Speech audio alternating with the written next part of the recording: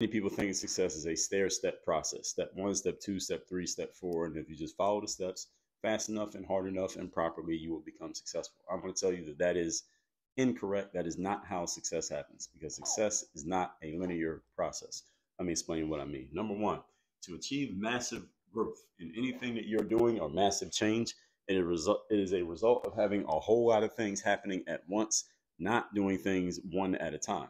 Because if you had 10 ideas that could possibly work, you don't want to do number one, number two, number three. It takes too much time. Instead, you want to do all 10 at the same time and let's see what ends up working. Use the pieces that work and throw out everything else. Number two, how most growth occurs, or most people think growth occurs, and what they try to do is to do one small step at a time because they want everything to be calm and easy and under control. The problem with things being calm, easy, and under control is that they are too slow and they are not effective enough because there's not enough activity happening. You're not building up enough momentum to make massive change happen. So you can have incremental change, but you can't have massive change. And number three, if you want things to be calm and under control, that is not an option if you want massive growth as well.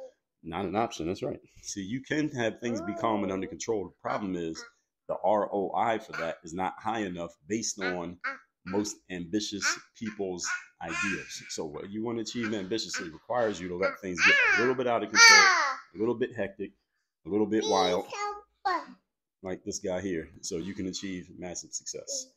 Work on your game. You say game? Game. Game.